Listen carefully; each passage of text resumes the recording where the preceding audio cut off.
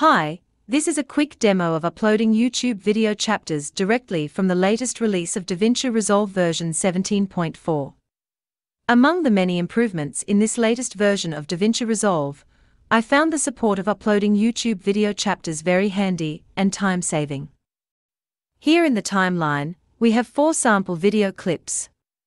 Go to the beginning, right click and choose Add Marker. We can double click the marker to modify the marker details. Move to the second clip. Instead of right click, we can also press the Add Marker shortcut Ctrl M to add a marker and open the dialog. Repeat the steps to add markers for the third and fourth clip, name the markers accordingly. Make sure we set all these markers with the same color, in this demo, it's blue. Once we finish the project, go to the delivery page. Choose YouTube template, enable the upload directly to YouTube option. And we now have this new checkbox called Chapters from Markers available.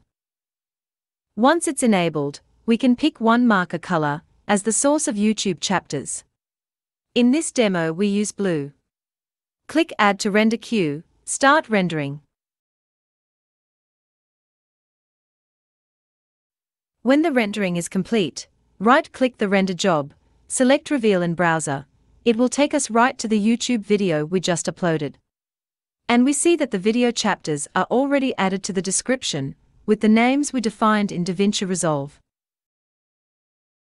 If we hover the mouse over the player progress bar, we can see it split into four sections as expected. Alright, that's all for today. Thanks for watching, and see you next time.